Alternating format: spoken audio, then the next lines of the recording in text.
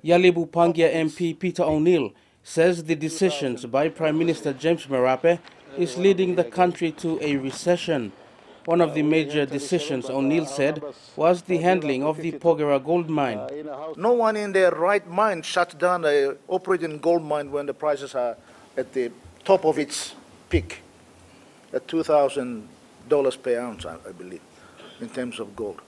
Nobody in their right mind. Of course, you can have tough negotiations, but that is mishandling, that's inexperience. He spent eight years with me as one of my senior ministers. I thought he learned, but obviously he's been sleeping on the job.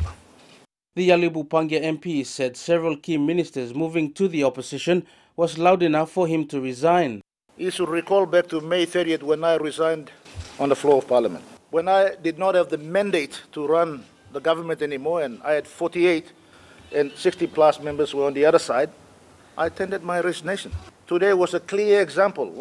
James Marape says the move yesterday was an indication of MPs wanting to move to the past. Uh, no secret about this one. It's choice, deliberate choice to go back to the status quo of 2011 to 2019. It is a choice between going back to what was the past or cutting loose and going on into the future. Cedric Pajole, TVWAN News.